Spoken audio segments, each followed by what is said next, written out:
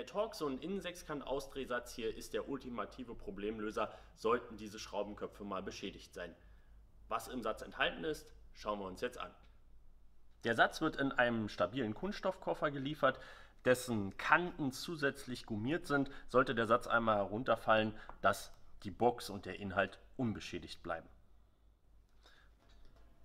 Im Satz enthalten sind dann im unteren Bereich hier vorne Torsionsbits in 1,5 bis 6 mm Sechskant und dann die Torx T10 bis T40. Die Torsionsbits haben den entscheidenden Vorteil, dass in diesem kleinen Zwischenstück hier ähm, wesentlich mehr Kräfte aufgenommen werden können, die eine längere Haltbarkeit des Bits bei Maschinenbetätigung garantieren.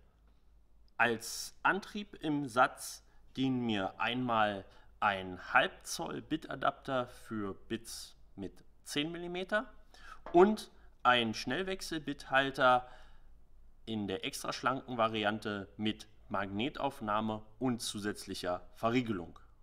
Für beschädigte Torx-Schraubenköpfe sind dann von T10 bis T55 spezielle Bits enthalten, die ein links schneidendes Profil im Kopf haben, so dass ich, wenn ich dann in meine beschädigte Torx-Schraube gehe, dieses Profil sich in der beschädigten Schraube festfrisst und darüber dann herausdreht. Für beschädigten Innensechskant ist dann der obere Bereich und zwar von 1,5 bis 10 mm. Ähm, Prinzip ähnlich wie beim Torx. Und zwar habe ich hier ähm, wie einen verdrehten Innensechskant. Dieser ermöglicht mir, sich in dem Schraubenkopf richtig festzubeißen und dann kann ich darüber diese beschädigte Schraube später dann ausdrehen.